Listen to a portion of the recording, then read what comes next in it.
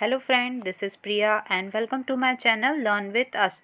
तो आज के इस सेशन में हम एम पी टेट वर्क एक प्रीवियस ईयर एग्ज़ाम 2018 में जो एग्ज़ाम हुआ था इंग्लिश लिटरेचर का, उसके कुछ प्रीवियस ईयर क्वेश्चन को हम यहाँ पर सॉल्व करने वाले हैं, ताकि आपके एग्ज़ाम में और भी हेल्पफुल हो सके हो सके और आपकी प्रिपरेशन बहुत अच्छी हो। तो इस सेशन को पूरा एंड तक आप देखिए और मेरे साथ जुड़े रहिए। और आपको ये सेशन पसंद आए तो इसे लाइक शेयर एंड सब्सक्राइब ज़रूर करिए। आइए स्टार्ट करते हैं आज के इस वीडियो को। फ़र्स्ट क्वेश्चन है हमारा who remark about Niraj C Chaudhuri autobiography the autobiography of an unknown Indian no better account of the penetration of the Indian mind by the West and by extension of the penetration of one culture by another will be or now can be written ठीक है तो eras C Chaudhary की autobiography है जो the autobiography of an unknown Indian उसके बारे में ये बात जो ये लाइंस लिखी है ये किसने कही थी तो फ़र्स्ट ऑप्शन है हमारा विंस्टन चर्चिल सेकेंड एम के गांधी थर्ड खुशवंत सिंह या फिर लास्ट ऑप्शन है हमारा B S Naipaul okay friend तो इसका करेक्ट आंसर है हमारा option D B S Naipaul ने ये बात कही थी निराज सिंह चौधरी के work the autobiography of an unknown Indian के बारे में। नेक्स्ट क्वेश्चन देखिए, बहुत ही अच्छा क्वेश्चन है, इस टाइप के क्वेश्चन आपके एग्ज़ाम में पूछे जाते हैं। From which act and scene of the Tempest did Aldous Huxley take the title of is dis dystopian novel Brave New World ठीक है? ऑल्डस हक्सले का जो नोबेल है, ब्रेव न्यू वर्ल्ड, उन्होंने उसका टाइटल द टेम्पिस्ट के किसी एक्ट और सीन से लिया है। तो वो एक्ट और सीन बताना है आपको कि कौन सा है, ठीक है? ब्रेव न्यू वर्ल्ड टाइटल लिया है। तो ऑप्शन आपको दिख रहे हैं। तो इसमें करेक्ट ऑप्शन है हमारा, act five scene one, Tempest का जो एक्ट फाइव और सीन वन है, उसकी किसी लाइन से ऑल्डस हक्सले ने अपने नोबल का टाइटल लिया है, ब्रेव न्यू वर्ल्ड। तो आपको ये याद रखना है। बात करते हैं नेक्स्ट क्वेश्चन की। Who according to the narrator in Lamb's essay Dream Children attended grandmother Field's funeral ठीक है? तो चार्ल्स लैम का जो आ, एस ये वर्क है ड्रीम चिल्ड्रन उसमें जो ग्रैंड मदर उनकी जब उनकी डेथ हो जाती है तो उनका फ्यूनरल कौन अटेंड करता है? ठीक है? ऑप्शन ए है Lady C Alice and Bertram second है the rich and powerful owner of the Norfolk house third है the poor and some gentry of the neighbourhood या फिर लास्ट ऑप्शन है हमारा no one from the neighbourhood attend the funeral ठीक है? तो इसका करेक्ट ऑप्शन है हमारा the poor and some gentry of the neighbourhood option C इसका राइट right आंसर होगा। बात करते हैं नेक्स्ट क्वेश्चन की। Who justified the use of satire saying ठीक है? किसने ये जस्टिफाई किया है यूज़ ऑफ़ सटायर का यूज़ किसने जस्टिफाई किया है? ये कहकर, क्या कहकर? Those who are ashamed of nothing else are so being ridiculous तो ये बात किसने कही है? फ़र्स्ट ऑप्शन हमारा John Dryden second Alexander Pope third Jonathan Swift और डी है बैन जॉनसन तो इसका करेक्ट ऑप्शन है हमारा एलेक्जेंडर पॉप इन्होंने ये बात की थी those who are ashamed of nothing else are so being ridiculous by use of satire okay next question देखते हैं, बहुत ही अच्छा क्वेश्चन है। Good friend for Jesus sake forbear to dig the dust enclosed here blest be the man that spares this stone and curst be he that moves my bones on who tomb are the above line inscribe ठीक है, ये जो line है, ये किसकी tomb पर मतलब किसकी कब्र पर लिखी गई है उसके ऊपर, ठीक है? तो फ़र्स्ट ऑप्शन हमारा Francis Bacon second William Shakespeare third P V Shelley या फिर जॉर्ज बर्नार्ड सा ठीक है, ये बहुत ही अच्छा क्वेश्चन है और ये बहुत ही बार हर स्टेट के एग्ज़ाम में पीजीटी टीजीटी एग्ज़ाम में पूछा गया ओके तो इसका करेक्ट ऑप्शन है हमारा विलियम शेक्सपियर विलियम शेक्सपियर की टॉम्ब पर ये बात जो है, ये लाइन्स जो है लिखी हुई है okay good friend for Jesus sake forbear next question है हमारा which are the four Shakespearean plays that have a mask within the play ठीक है शेक्सपीरियन के शेक्सपियर के इनमें से कौन से प्ले में जो मास्क का यूज़ किया गया इसको बैडिंग मास्क भी बोलते हैं। मतलब डांस वगैरह या सिंगिंग वगैरह परफॉर्मेंस होती है किसी की शादी पर बैडिंग पर या फिर ये पपेट शो होता है, ठीक है? तो इनमें से ऑप्शन जो दिए गए हैं तो इनमें से बताना है करेक्ट ऑप्शन कौन से हैं? तो यहाँ पर करेक्ट आंसर है हमारा option C A Midsummer Night's Dream Romeo and Juliet Henry eight and the Tempest the Tempest हमारे सिलेबस में तो आपने पढ़ा होगा कि उसमें जब मेरांडा और फर्डिनेंड का जो रिश्ता पक्का हो जाता है तो फिर वहाँ पर वो प्रॉस्पेरो जो है बुलाता उनको डांस वगैरह करने के लिए, ठीक है? स्पिरिट्स को तो वहाँ पर वेडिंग मास्क का यूज़ किया गया। तो ऑप्शन करेक्ट ऑप्शन है हमारा ऑप्शन सी यहाँ पर।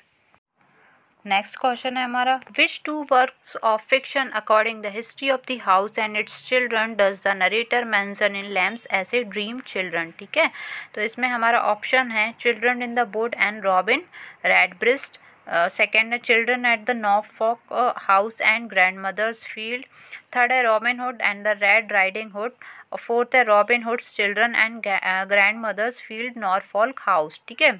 तो इनमें से कौन से दो वर्क हैं जो चार्ल्स नैमन ने अपने ऐसे ड्रीम चिल्ड्रन में यहाँ पर बताए हैं, ठीक है? According the history of the house and its children तो इसका करेक्ट ऑप्शन है हमारा option A children in the wood and Robin redbreast next question है हमारा which of the following option is not correctly match in the context of Charles Dickens tale of two city तो tale of two city के यहाँ पर character दिए गए हैं, उनके प्रोफेशन दिए गए तो इनमें से कौन सा जो है करेक्टली मैच पेयर यहाँ पे नहीं है, आपको ये बताना है, ठीक है? फ़र्स्ट है हमारा अर्नेस्ट डिफार्ज जो कि एक बैंक मैनेजर थी। सेकेंड है मिस प्रॉस लूसी गवर्नर्स थी ये थर्ड है Alexander Manette a French physician या फिर Jerry Cruncher an employ of Tellson's bank यहाँ पर कौन सा आंसर जो है यहाँ पर रॉन्ग है? मतलब करेक्टली मैच पेयर नहीं है हमारा, आपको ये बताना है। यहाँ पर आंसर है हमारा ऑप्शन ए अर्नेस्ट डिफाश ठीक है, ये बैंक मैनेजर नहीं होते, इनकी पेरिस में एक वाइन शॉप होती है यहाँ पर। तो ये जो है हमारा करेक्टली मैच पेयर नहीं है यहाँ पर ऑप्शन ए नेक्स्ट क्वेश्चन देखते हैं. Which of the following is true in the context of Jane Austen Pride and Prejudice ठीक है, जो ये स्टेटमेंट दिए हैं, इनमें से कौन सा करेक्ट है? जेने ऑस्टिन के प्ले प्राइड एंड प्रिजुडिस के बारे में. तो फ़र्स्ट ऑप्शन है हमारा Caroline Bingley is jealous of Louis Hurst attachment to Fitzwilliam Darcy second है Catherine Kitty Bennet elopes with George Wickham third है। Mr Edward Gardiner is the co guardian of Georgiana, Darcy, या फिर fourth है, Mr Collin but inherit the Longbourn house.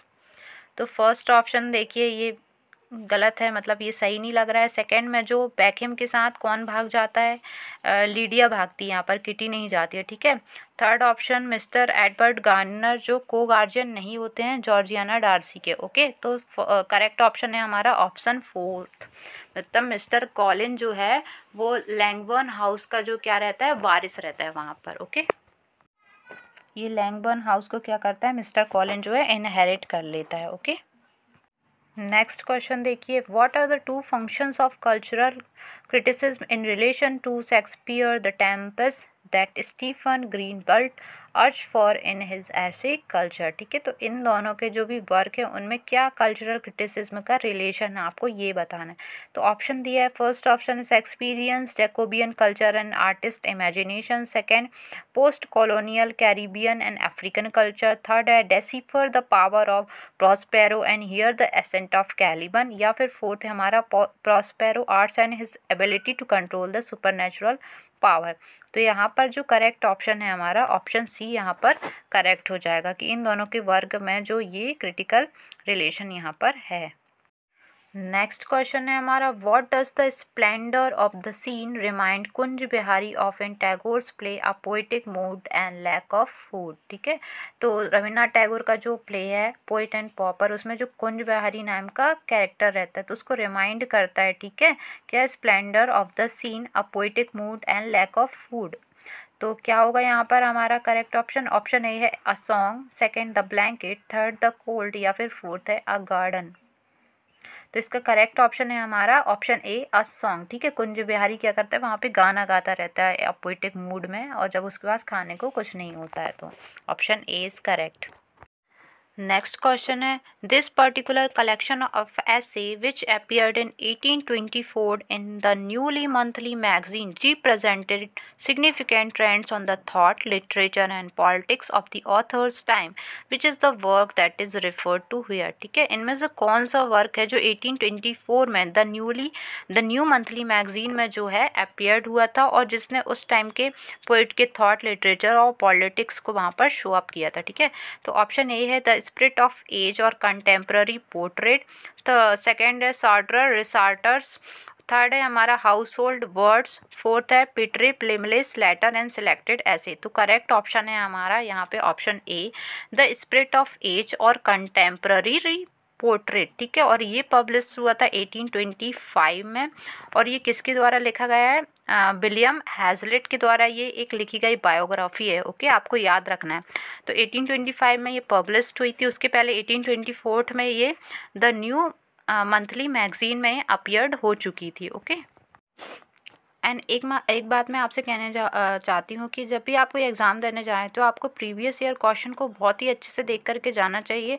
हो सकता है कि उनमें से ही कुछ आपको रिपीटेड क्वेश्चन वहाँ पर देखने को मिल जाए और एक बेसिक आइडिया भी आपको हो जाता है कि किस टाइप के क्वेश्चन आपके एग्ज़ाम में पूछे जाएँगे ओके तो नेक्स्ट क्वेश्चन है हमारा which among the mythological character is not listed by Bacon in his a of friendship who according to the essayist falsely and friendly sequestered the self for a higher conversation तो इनमें से कौन सा जो है bacon के of friendship में एक कैरेक्टर नहीं है मिथोलॉजिकल यहाँ पर फ़र्स्ट ऑप्शन है हमारा Epimenides the Canadian second Apollonius of Tyana third है थेल्स ऑफ़ मिलेटस फोर्थ है न्यूमा द रोमन तो करेक्ट ऑप्शन है हमारा थेल्स ऑफ़ मिलेटस ये जो है ऑफ़ फ्रेंडशिप में ये मिथोलॉजिकल कैरेक्टर कहीं भी आपको देखने को नहीं मिलेगा ओके नेक्स्ट क्वेश्चन है who is considered as the first poet in the lineage of Indian English poetry ठीक है तो इसमें फ़र्स्ट पोएट जो है, इसको किसको कहा जाता है? ठीक है तो फ़र्स्ट है हमारा तोरू दत्त देन सेकेंड है सरोजनी नायडू थर्ड है रविन्द्रनाथ टैगोर, या फिर फोर्थ है हैंनरी लुइस बिवियान डेरोजियो ठीक है तो इसका करेक्ट ऑप्शन है हमारा Henry Louis Vivian Derozio option D हमारा करेक्ट है, जो कि फ़र्स्ट पोइट हैं हमारे lineage of Indian English poetry के। और ये किसको किसको फॉलो करते थे? रविन्द्रनाथ टैगोर, श्री औरबंदो सरोजनी नायडू, तोरू दत्त के साथ ही, ठीक है? नेक्स्ट क्वेश्चन है हमारा which critic said that the charming idyll after apple picking is dusted over with something uncanny ठीक है तो ये क्रिटिक्स रिमार्क किसने किया था आफ्टर एप्पल पिकिंग पे? फ़र्स्ट ऑप्शन है हमारा क्लीनिथ ब्रुक्स सेकंड है रॉबर्ट पेन बैरन थर्ड है र्यूबेन अब्रोअर या फिर फोर्थ ऑप्शन है हमारा एमी लोबेल ठीक है? तो इसका करेक्ट ऑप्शन है हमारा एमी लोबेल ने ये बात कही थी आफ्टर एप्पल पिकिंग के लिए। एमी लोबेल जो है, एक अमेरिकन राइटर थी और उन्हें पोइट्री के लिए पुलित्सर प्राइज़ भी दिया जा चुका है। तो आपको ये बात याद रखनी है, किसी भी पोइट्री को या किसी भी राइटिंग वर्क को किसी ने क्रिटिसाइज़ किया तो आपको याद रखना है कि किसने ये रिमार्क किया है ओके तो आज के वीडियो में हमने कुछ फिफ्टीन क्वेश्चन को यहाँ पे सॉल्व किया, ठीक है इंग्लिश लिटरेचर के प्रीवियस ईयर क्वेश्चन के। तो आई होप आपको ये वीडियो पसंद आया हो तो इसे लाइक शेयर ज़रूर करें, ताकि ये ज़्यादा से ज़्यादा लोगों के लिए हेल्पफुल हो सके। Thanks for watching